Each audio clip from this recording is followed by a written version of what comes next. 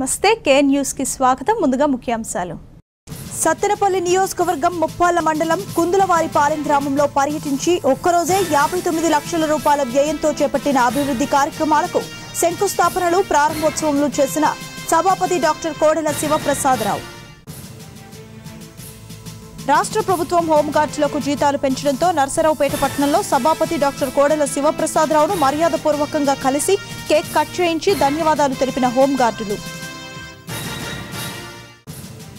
MLA doctor Gopireddy Srinivasareddy అవినీతి అక్రమాలకు వ్యతిరేకంగా లుధరణ ఆంధ్ర పాఠశాల స్థలాల కబ్జాలను నిలిపివేయాలంటూ కోరుతూ రెండవ రోజు దీక్ష కార్యక్రమాలను కొనసాగించిన దళిత క్రిస్టియన్ పరిరక్షణ కమిటీ సభ్యులు.